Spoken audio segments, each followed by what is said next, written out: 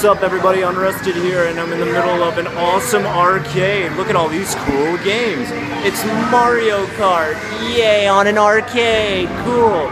And behind me it's Dark Edge 3D, cool. And let's see, if you come over here, I don't know, maybe you already have this in America. Transformers, the game, how can I get that on film right? There we go, hold on. Transformers, the game. Is that cool? I hope you think it's cool.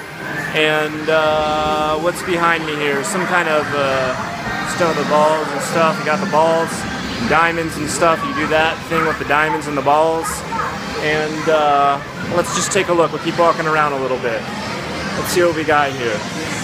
Uh, we got ourselves uh, some ladies over here. Hi, ladies.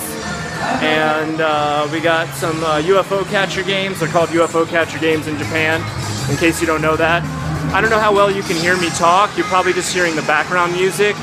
But, uh, you know, I thought nonetheless I would record you a little video and let you know that pretty soon, tomorrow, uh, Grand here is going to have a little video of us edited together of us going through a arcade here in Japan and playing medal games, taking Kura, uh, and generally creating havoc in all the different electronics within the store. Stay tuned for tomorrow when you can watch that, and I hope a lot of you are joining us for our movie tomorrow.